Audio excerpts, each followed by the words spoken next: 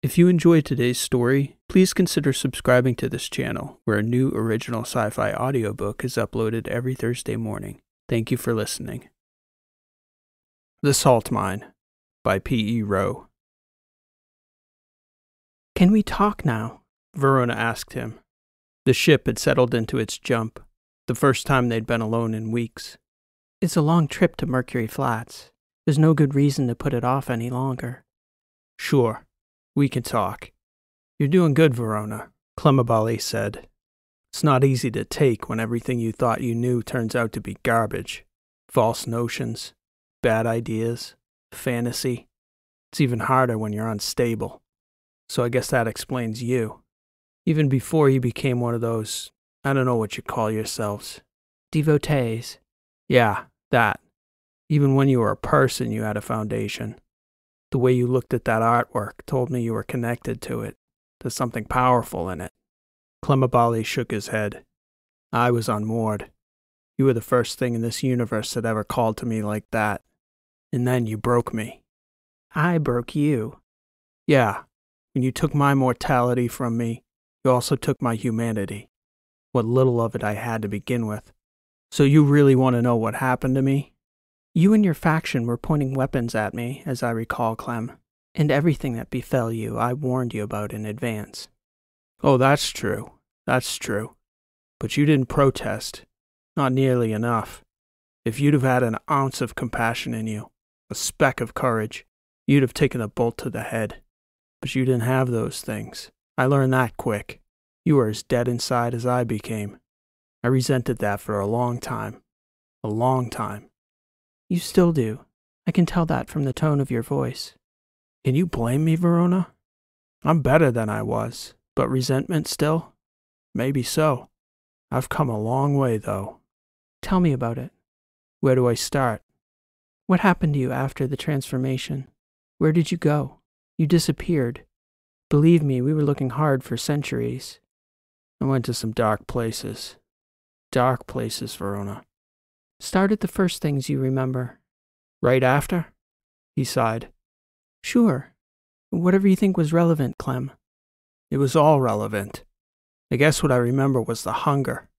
It was like feelings disappeared. And before I met you, Verona, I was all feeling. Hardly even a man, really. Just dominated by my emotions.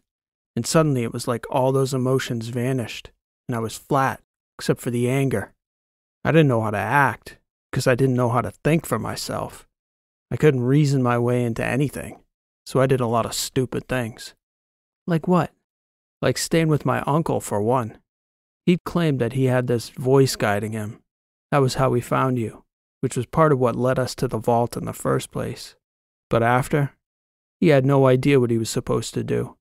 Or maybe it was just he was terrified of me, because he was. But we had all that dark tech we had stolen AIs and processors. And relevant to me, we had the biotech, most of it nano. And because he thought I was immortal, or in whatever way impervious to it, he encouraged me to put some stuff in my body I wish I could get out of it. That didn't help matters any. When he realized I could impersonate people, we turned into a pair of hucksters, really. Nothing seemed like a better idea to me at the time. We ran con jobs, Small time at first, perfecting the art of rubbing rich people blind. How did you impersonate people, Clem? Nanotech. I could touch someone and pass bots to them, into their bloodstream. Then the tech targeted specific neural receptors, mapping out the commonest pathways in the fusiform face area. So, like a husband or whatever, and their brain would cross those wires with my face, and the brain makes a lot of corrections for you helps trick them into believing I was Mr. So and so. And then we'd do something spontaneously, like make a new investment, empty funds, go on holiday, sell a property, something like that. So they would look at you and see who? Their husband, usually. I could make them see whatever I wanted them to see, though. Secret lover, their brother, a dog, a hat, whatever I wanted to write over a familiar neural pathway. Wouldn't other people recognize that you weren't the real spouse? That part was trickier, yeah. But because the mark thought I was really the spouse, the people who mattered for our purposes business agents, attorneys, bankers, human or automated They would register my authentic face as the real spouse. So I'd come back later, clean out the rest of the accounts, sell all their properties, disappear, try a new colony. That was one trick. We were richer than we ever needed to be in months. But you know how it is. When something is that easy like that for people who had it hard for a long time, why stop? We keep going, keep pissing people off, keep breaking the rules. When I first met you, Clem, you seemed idealistic. I maybe was at least half that before. My uncle, though, he was full of it, come to find out. He just wanted his. He was a con man, through and through. He talked all that stuff up to get those militants involved. Was so convincing I fell for it. Then after, I was confused, like I said. It's hard to feel a connection to humanity, to a movement, when you can't feel anything at all but anger and hunger. That was probably the worst part. How disgusting the food tastes. And there's no amount you can eat to make the hunger go away. It's difficult, Verona concurred. A lot of the sex preparation and training all those years after the transformation targets these very challenges. I could probably help you. Correction. Could have helped me. I figured it out. Certainly, you have in large part. I only meant there may be some gaps. I wouldn't presume. Yeah, do us both a favor. Don't. Very well. Anyway, I never did kill him. Your uncle? Hmm. It was useful to have him around. He had human needs. Even as loathsome as he was, that kept me connected to reality. He had to eat. He had to make social connections. A lot of those bad business decisions were as much the social compulsion as greed. Even screwing somebody over for him was a way of connecting with the person. As messed up as that is, made him feel alive. When he died, I lost even that. And I was still a ball of hate, rage, hunger, and anger. I didn't know how to think. I decided I was either going to self destruct and take as many people with me as I could, or I was going to master my own mind. I don't mean to be, um, how would you say? Condescending? Your tone implies that, by the way, Verona. Like a baseline. You sound haughty as hell, for your information. No, not condescending. I'm not trying to be fresh by asking this, but have you mastered your mind? I'm asking earnestly. Abali paused to consider. Sometimes, I'd say.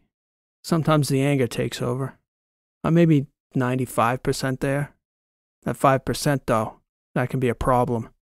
What did you do after your uncle died? At first, I kind of lost my mind. But I used to copy his face for decades after he died, blame him for things I'd done, taking his face when I conned people, aping his mannerisms and behavior whenever I lost control of my own. I lied to myself a lot, as much as anybody else. I think maybe I was trying to replicate those bonds to humanity that went when he died. And I suppose I did it the only way I knew how, through him. As I said, I didn't know how to think, just feel and react. Abali paused, as though deep in thought. Verona didn't say anything, just watched, waiting for him to think his way through that difficult terrain. I'm wondering, Verona, maybe you don't know because you were given a mission along with the longevity, but I had no such purpose. And that, that was harder than maybe anyone can imagine. You think people are so scared to die? But maybe this is the one thing your sect did get right. Death is a blessing, lights a fire under people. You maybe think, oh yeah, it'd be nice not to have to fear death all the time. But it also takes away that fear. Now what do I do? I'm not sure I know what you mean, Clem. Well, you're here, and you're going to be here indefinitely. No time limit. So what do you do? What's your motivation to do anything? The city you live in? You're going to outlive it. You could live long enough on a mountain top that it wears away to dust beneath your feet. So what? Living people, mortal people. They're compelled. They have instincts to make a mark in the time allotted. I see what you mean. I understood this, at least viscerally, somewhere deep. I decided I need to learn to think so that I could think my way through it. Started reading and writing, mostly philosophy, moral philosophy, human action. Where were you all this time? Different places. Spent a lot of time in Dreesens both Athos and Iophos, back and forth to Charis. After I wore out Athos, I went out into the barrier worlds, way out into the letters and beyond. And all that time you were working on your mind? Something like that. Figured out how to use it, I would say. Then I decided how I wanted to apply it. Did you build any relationships, connections? Closest thing was I had a Precops clone for maybe two centuries. I abducted him at first as a kind of mental challenge to see if I could do it. I had tech in me that could control lesser bots simple, but a clone of a prime AI was a test of my abilities and a big risk. But I managed to do it without getting myself into any major trouble. I overrode its deeper protocols so it couldn't turn against me. I wouldn't say he liked that all that much. Not a good basis for a friendship. It's interesting to hear you use that word, Clem. Did you ever have any friends? I had some people I wanted to be friends, but the only people ever loyal to me weren't loyal to me, but to a cause I was using.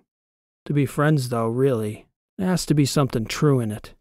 I learned that mostly from failure. But you know what, Verona? I don't know what you expect out of this conversation. You want to know what I've been doing for the last thousand years? The short answer is trying to figure out how not to be miserable. I get miserable, and bad things happen. What about when you weren't miserable? There must be some times over the last thousand years you weren't miserable. Not even happy times, per se. Decent times. Per se. See, Verona? That. That's that haughty talk. Makes regular people think that you think you're better than them. Verona laughed. I'll keep that in mind next time I'm talking to a regular person. Touche, I guess. Abali shook his head. See? Now you got me doing it. It's contagious, Verona said, smiling. Anyway, what about it? Was there anywhere you found any peace? There was a place. Some people. They helped me. It'd be recent for you, not so much for me. A long time ago now. What do you mean, Clem? It wasn't so long before I left to come here. Just before that little dust up with the Athosians, the second one. Presumably the reason you came looking for me, thinking I was about to destroy the ring. We all heard about that, yes, Verona stated. My new friends here knew a thing or two about it. Yeah. I figured they weren't just random travelers, especially not the Bipal. They don't seem too hostile to me, anyways, but I don't suppose they can call for backup in this place, even if they wanted to take me in. They sure as hell can't kill me. I think they'd be open to the truth about you, if you're willing to share it. I don't know these people. I presume there'll be time to get to know them. I don't know you, Verona. If you ever did have a friend in this universe, Clemabali, it's me. Sure. My friend.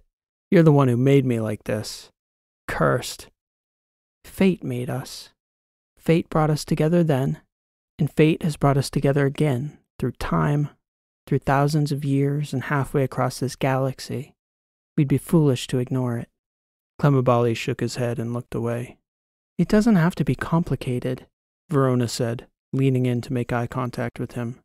We can just exist, be ourselves, see where things go. It is complicated. This place, if it's anything, it's complicated. The people aren't, but the place is. That's fine. I'm just saying this doesn't have to be complicated. We can be friends, Clem, you and I. You have a lot to learn about me. I'd like to learn it. That's what I'm trying to tell you. I am being earnest about that. I know you've been alone a long time. Abali turned to make eye contact with Verona. There were some people. Salt miners. They were simple people. Decent people. Just wanted to stick to their own. Never wanted anything more than that. A good life. When was this? I was trying to find my way back to one of these artifacts, trying to get away from the Athosians right after I'd escaped the rocks. Did about six months incarcerated and then bolted out into the boundary worlds, looking for an archaeologist out in the letters who knew something about the Cap artifact, but I couldn't track her down with the Athosians on me. I kept going farther out, looking to escape the trouble, but the trouble kept finding me.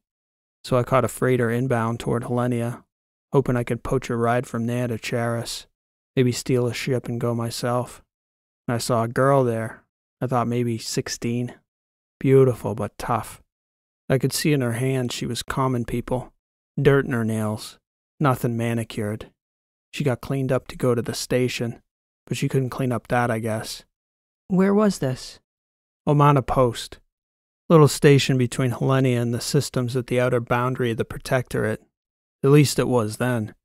I know it, Verona stated, nodding.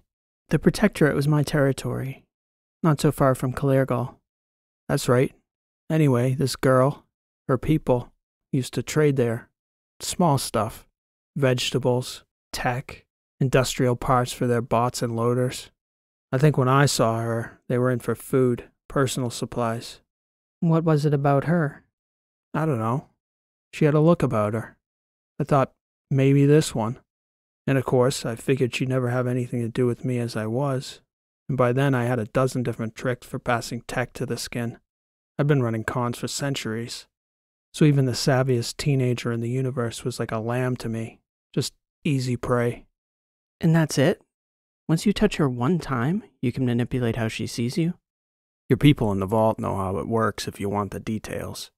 That's where me and my uncle took that tech from. But yeah, I projected persona, and it doesn't matter. Whatever the tech in their brain tells them I am, that's what I am. I projected myself to her as a kid. Then I met the rest of the people in her family, disappear for a minute and come back. Then they all see a kid, a hungry kid who needs a place to stay. You can't do that if there's a lot of people around, but they only had seven people on their pod, so they took me in. What was her name? Linnea. Linnea Howard. You want to know why her hands were dirty all the time? I guess because she was a salt miner, no? No, they never touched the stuff with their bare hands on the job. The bots did all of the grunt work. She was a painter, Verona. They sorted all those minerals out of the rocks they broke up in the mine. Their ship pulled in whole asteroids to get the sodium mostly. Then they'd ship it off to Athos and Iophos.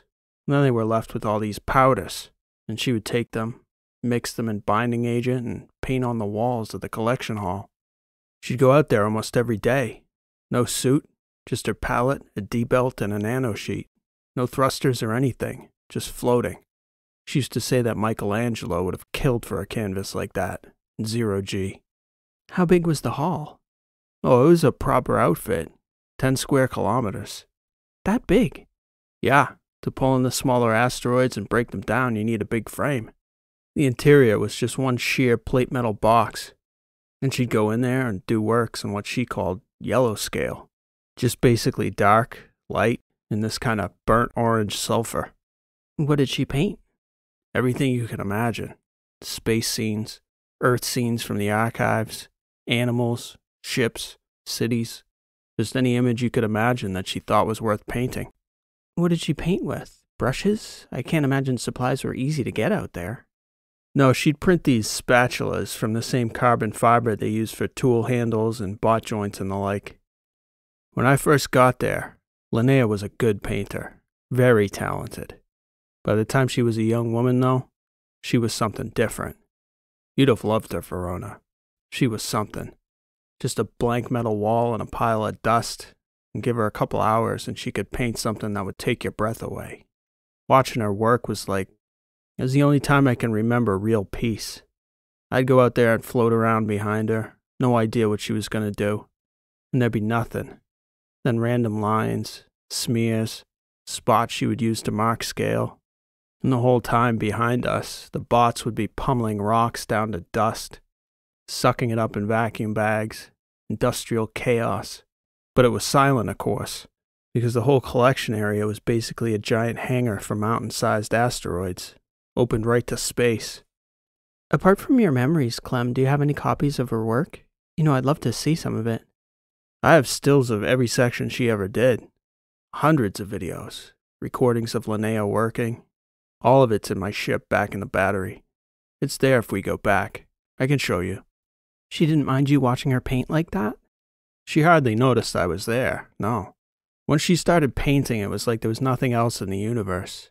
Linnea, the palette, and the wall. She'd put buds in her ears, turn on the music, put up her nano sheet, and float out the airlock. It was like she disappeared into a different plane of reality, almost like a different person out there. The painter would come into her body, and Linnea didn't come back till the painter was finished. She was a genius, Verona.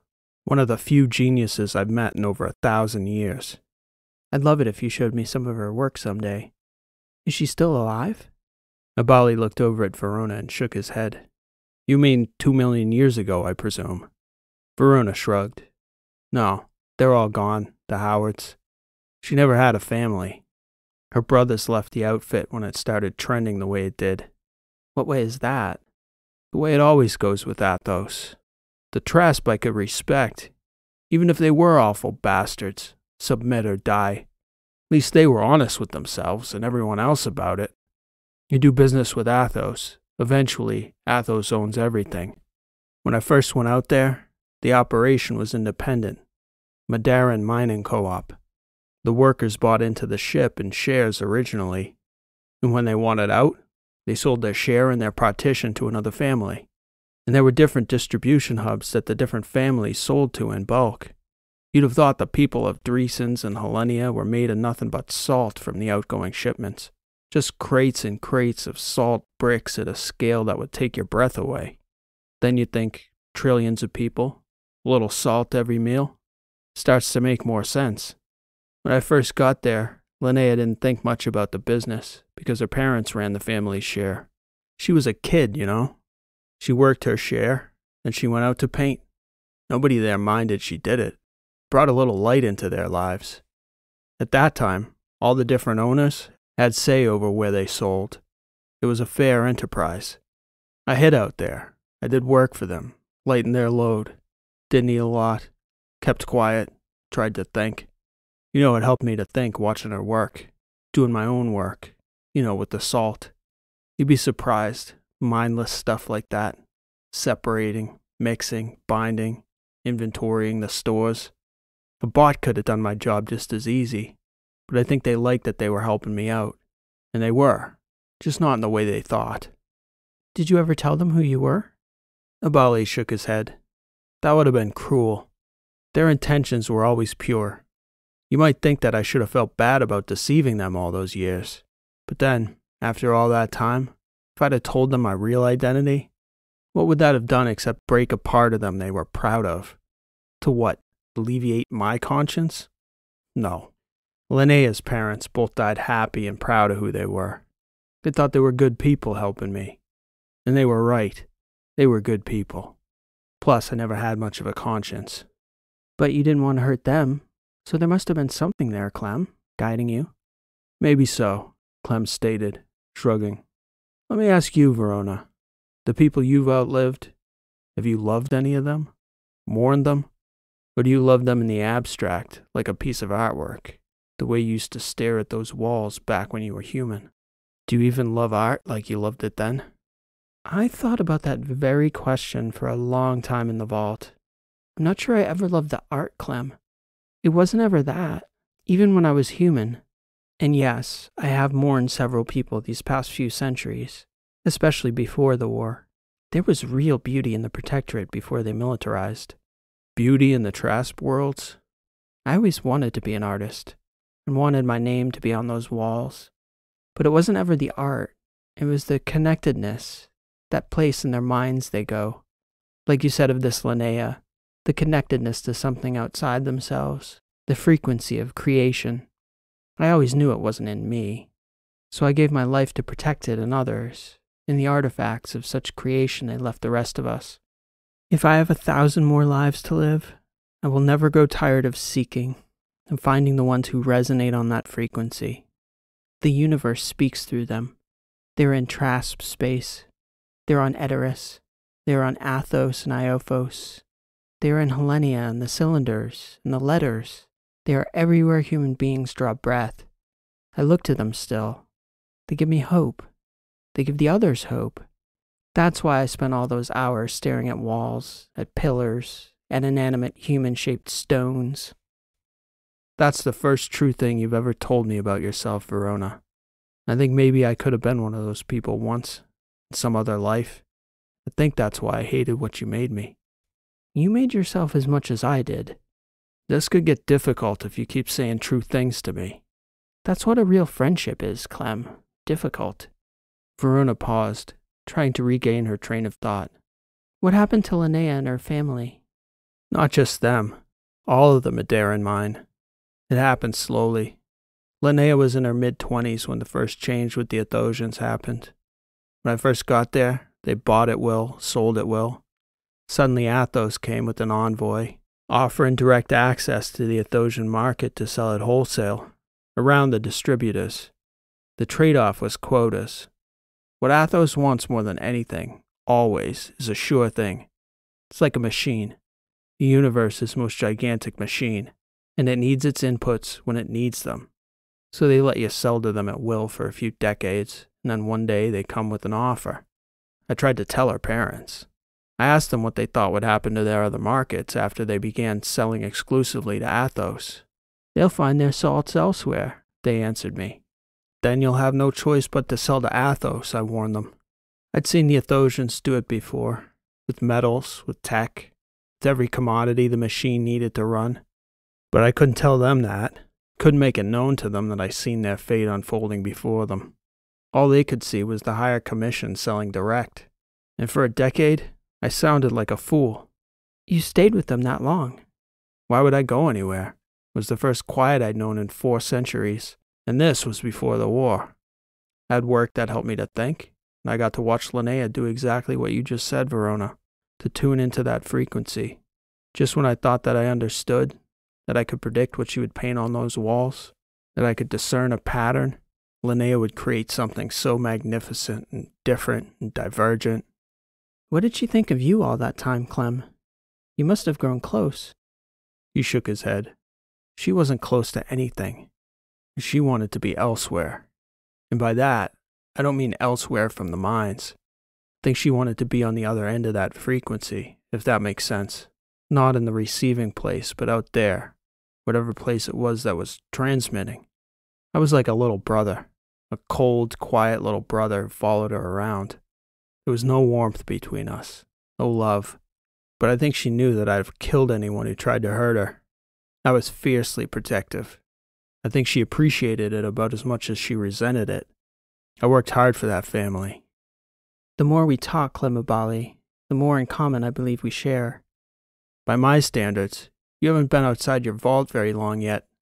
The hardest thing about watching them is seeing them do the same things over and over, never even knowing they walk in the same footsteps, making the same mistakes. I watched it happen to the Trasp. History, marching them backwards as it moved them on. Linnea inherited her parents' share. She bought out her brothers. They went in together on a small vending corp on Athos that did well. They were close. Both of them were always more interested in commerce than mining. Linnea just wanted to keep painting that wall. She'd filled thousands of squares along that inner wall in those years between that first Athosian deal and the time the buyouts began. She was 36 when the Athosians came back, making offers. Again, the machine. And I told her again, they were only there to tighten their grip. And then, too, they told the owners and operators it was a deal 5% over market to sell to Athos, to be managed according to the vote of the majority. I did the math for her. If people retired at the same rate, sold, and Athos bought even half of the shares that came up, the independent co op owners would be a voting minority in 20 years' time. But I couldn't speak at the owners' forum because I wasn't an owner. Linnea spoke passionately against the proposal. But at 5%, it meant families could sell sooner two years, three in some cases. For us, Verona, Maybe we would spend three extra years in a salt mine. These years are like days to them. We see them walk the same path over and over because it makes sense. They're transacting, buying time. If you only got one life, it's no life, a life in a salt mine. How long did she last before Athos came for the rest of it? Seventeen years, almost to the day of the vote on the buyouts. Once they had a voting majority, Athos compelled to buy out of the final shares. Did they offer her a fair price at least? That depends. That all depends, Verona. Fair's a funny idea, you know. What does it mean in the long run? I take this, you take that. We both agree not to cut each other's throat. They gave her money and they took her home. Where did you go? Linnea decided she wanted to live on a planet, so we went out into the letters. Did you stay with her till the end? No, I didn't stay long after that. It didn't go well out there. She was bitter and miserable. She didn't adapt well to the constant gravity, even as I tried to alleviate her pain. She did not like to be touched by me. And that technique of hers, the yellow scale, the minerals, all the canvas and materials she ever needed, she never adapted to a new style, never found a wall big enough. I think maybe without the distraction, the focus, she began to think about things other than creation. Maybe she saw me. I think she finally saw me, Verona. Or maybe she always saw you. Maybe she worried you would see her, the actual Linnea Howard, not the painter. Never thought of that. I shall have to see that. Next time I go back to Athos, I'll go looking for the Madeiran salt mine. Abali shook his head. It's no use. I went back maybe fifteen years later. A life's work, Verona. A fraction of one of those walls. They'd sent a bot out there to scour that wall bare as soon as they'd cleaned all those co-opers out. Tides over the sands. Then maybe you could give me something to put back in our vault. You shouldn't be the only keeper of such a treasure, especially in your line of work. A lot of people would like nothing more than to blow up your ship with you and the last record of Linnea Howard's work in it. We'll see about that, Clem Abali stated.